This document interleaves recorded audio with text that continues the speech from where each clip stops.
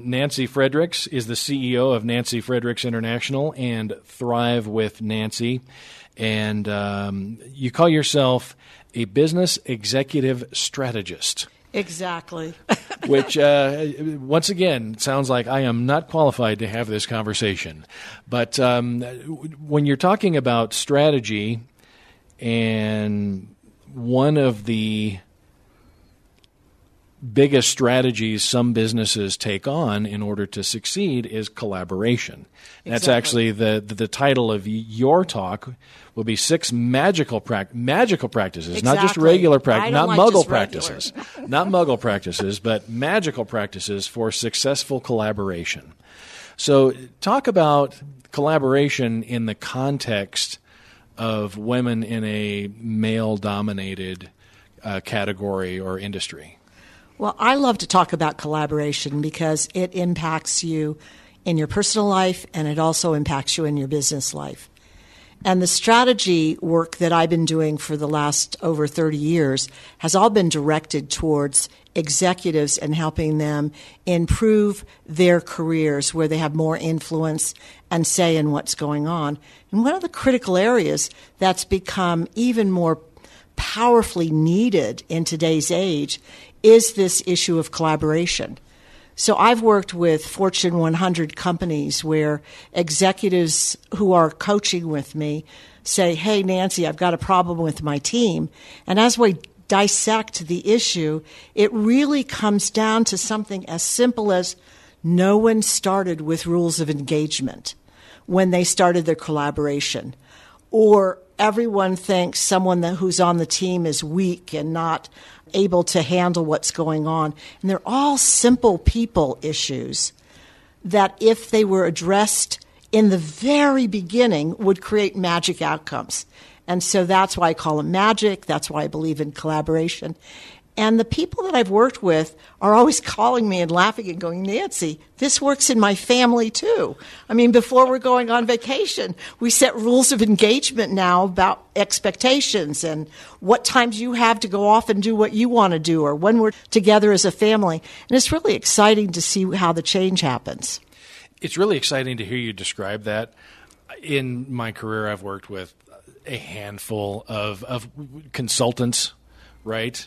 And correct me if I'm wrong, a consultant does have this magical ability to tell you something that you kind of already know, but reinforce it and explain it in a way that it's like, yes, that's what we need to do. And it, correct me if I'm wrong, Nancy, it sounds kind of like that's what you're saying because everything you're talking about makes perfect a, sense. exactly, perfect sense. And yet sometimes we need an expert right? Right. To come in and help us steer, take that side street, if you will, or steer down that, you know, interstate. Almost everyone in this room, I'm sure, and who is listening, has at one time seen the picture that some people see the young woman and some people see the old lady. And I was a dyed true old lady. That's all I saw when I first saw that picture. And then someone, a friend of mine, said, No, young lady. And we were kind of fighting it out. Do you know what I mean? Did you set your rules of engagement before you? No, we okay. didn't. That I learned it through the through experiences like this. But as my friend would go around and describe, here's where the feather is, here's where this is, I went, bing, aha. Now I can see it both ways. And I think that's the, what the work is that I do, is that it's common sense, it's practical, it's usable. You go back and instantly you're there and you're able to uh, put it into practice. But it's also that click, that aha, that has you looking at a broader picture than you ever did before. And again, while you're looking at the same thing someone else is. And I guess that's really the brilliance of someone who excels in their field, uh, be it uh, consulting or coaching or anything like that, is you take what everybody else is seeing. Right. And you can explain it or offer another way of dealing with the problem that, again, can be just like magic the first time you hear it.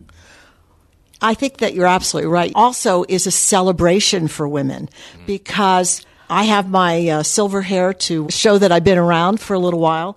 And I can remember when women had no positions of authority. I can remember where we had very, very little choice in what our careers would be. It was limited to what women could do. And so that's no longer the case. That's been erased. I'm looking for parity. And one of the ways we get parity is if the system changes, but I'm not able to change the system. And what we're wanting to do is gather women together to have them come into community to celebrate who we are in the world, but also to give us all a new way of looking at things that may open a whole new pathway for their careers and how they are in their organizations. When uh, at the the outset of the conversation, Nancy, you said that in uh, your 30 or so years working with executives and sometimes Fortune 500 companies, you're working with folks that want uh, more influence is the the term that I wrote down. Right. All I could think of is uh, I've seen this on T-shirts. I've seen it on coffee cups. Um, the phrase is I need more money and power and less right. blank from you. right. right. Right. so that's essentially the, what you've dealt with, and you've helped people achieve those goals. And I also want to say that not everyone wants to rise to the top. Hmm. And there's a lot of people that I've worked with who are thrilled and happy and satisfied right where they are because they don't want to take on the additional responsibility. But they feel like they're not heard. And so part of what I support them in is figuring out ways, no matter where you are in your organization, to be heard and to make a difference. And at the root of it, it would be hard for me to believe there's anyone out there that doesn't at some place in their life, whether it's with their family or at work or with their friends, where they want to be the difference maker. Thanks for listening to the interview between Gabe Chenoweth, General Manager at KMTS in Glenwood Springs, Colorado, and Nancy Fredericks, CEO of Thrive with Nancy. Wasn't that an informative conversation? If you're looking for more of the same, you can have a chat with Nancy yourself at thrivewithnancy.com dot com forward slash APPT. That's dot com forward slash APPT.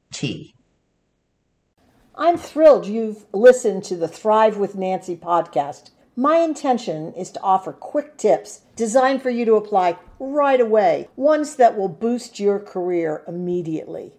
I bet you're already considering ways to implement these new ideas. Perfect! Now, if you do me a favor, pass the podcast link on to those who will benefit your friends and coworkers. Thanks so much.